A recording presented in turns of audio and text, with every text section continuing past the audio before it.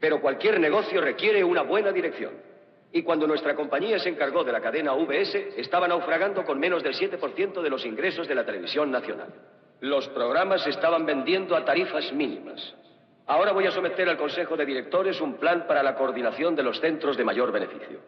Y con la intención específica de hacer que cada sección se responsabilice ante la gerencia.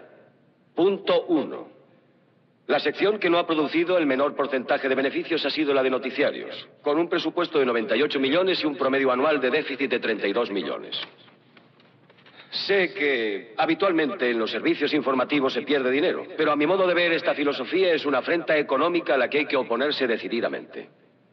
El nuevo plan consiste en trasladar las noticias locales a las emisoras regionales. Las noticias de radio serían trasladadas al departamento de radio de la VS y la sección de noticias quedaría reducida a una sección independiente en un departamento responsable ante la red de televisión.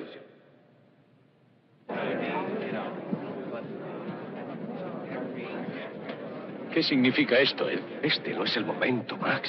¿Por qué no se me habló claramente? ¿Por qué he tenido que soportar esta humillación públicamente delante de todos los accionistas? Esta misma mañana he hablado con John Wheeler y me ha asegurado que la sección de noticias estaba a salvo. Si tratas de hacerme dimitir es una buena forma de hacerlo. Hablaremos sobre eso mañana por la mañana en mi despacho.